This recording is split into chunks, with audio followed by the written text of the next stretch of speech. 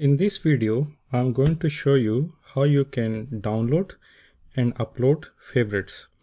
This is very, very useful. For example, if I join a new company and I can see my colleague has a big list of favorites and probably they, there can be hundreds of favorites. Now it does not make any sense for me to create each of them manually into my own favorite.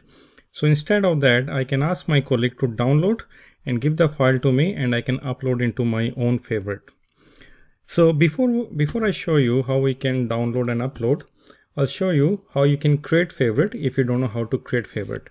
So basically here you can see favorite on the top list where I can uh, right click on it.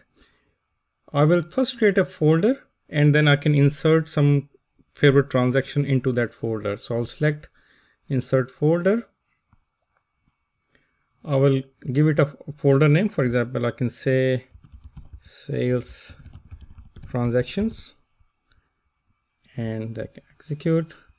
And then again, again, I can right click on it and either I can create another folder into the same folder or I can insert transaction straight away. So I can select insert transaction and then I can say, for example, VA01 and I can enter another one. I can right click again. And then insert VA05 etc so this way you can create more folders and more transaction within those folders.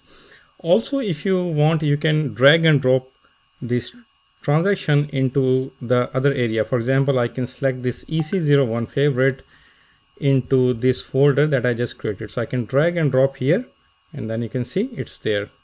Here in the middle I can again drag and drop. I can move it to the bottom. I can move it to the top wherever you like. So this is how you can set up your own favorite.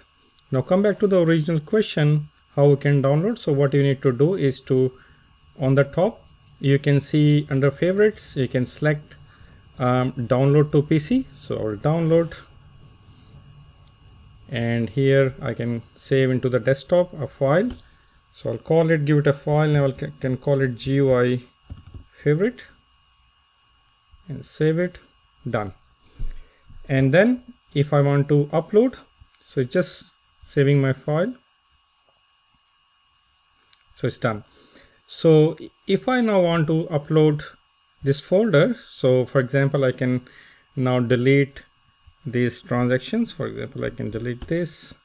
I can keep one for some reason but I'll let me delete this one as well this folder. So I'll just keep one favorite here. Now I can go to favorite again upload search for the file.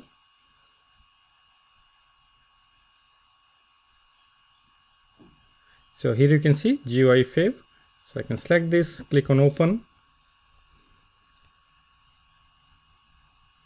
so just preparing the file so select allow. So here you will see two options insert and append. So insert means it will just insert uh, in your existing um, favorites. Append means it will add the new values at the end of your existing favorite. So for example if i select insert let's see what happens. So you can see now it added the new records here that we have downloaded before. So that's how you can download and upload the favorites. So thank you for watching. We'll see you in the next video.